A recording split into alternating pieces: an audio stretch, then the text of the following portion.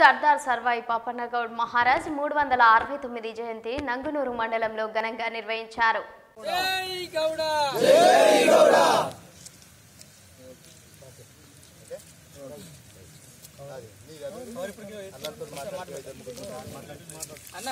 జయంతి ఉత్సవాలను మా నంగనూరు మండల గౌడ సోదరులు ఈరోజు పాలాభిషేకం చేయడం జరిగింది బైకిరాలు తీయడం జరిగింది. అదేవిధంగా మన తెలంగాణ ప్రభుత్వం వచ్చిన తర్వాత మన కేసీఆర్ గారు ముఖ్యమంత్రి అండ్ బా మాజీ భారీ నీటిపారుదల శాఖ మంత్రులు హరీష్ రావు గారు ఆదేశాల మేరకు హరితహారంలో భాగంగా చెట్లు నాటుకోవడం జరిగింది. గతంలో మనకు ఈత చెట్లు గరికతాళ్ళు ఇవ్వడం జరిగింది. మరి దురదృష్టవశాత్తు మనకు అవి మనం పెంచుకోలేకపోయినాము.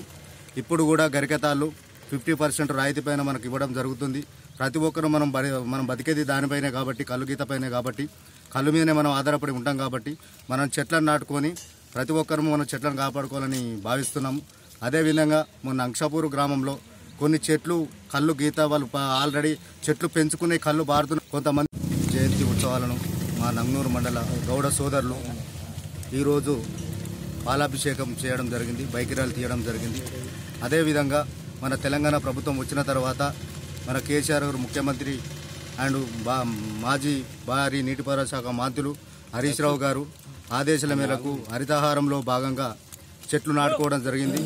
గతంలో మనకు ఈత చెట్లు గరికతాళ్ళు ఇవ్వడం జరిగింది. మరి దురదృష్టవశాత్తు మనకు అవి మనం పెంచుకోలేకపోయినాము. ఇప్పుడు కూడా గరికతాళ్ళు ఫిఫ్టీ పర్సెంట్ రాయితీ పైన మనకు ఇవ్వడం జరుగుతుంది.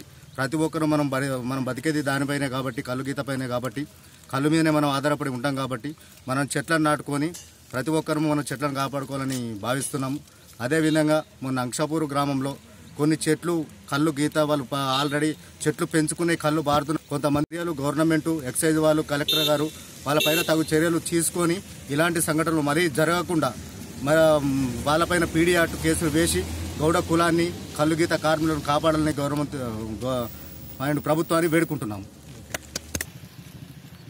ఈరోజు నంగనూరు మండలంలో గౌడ సోదరులందరి సమక్షంలో సర్దార్ సర్వై పాపన్న గారి మూడు వందల అరవై తొమ్మిది జన్మదినం పురస్కారం జరుపుకోవడం జరిగింది.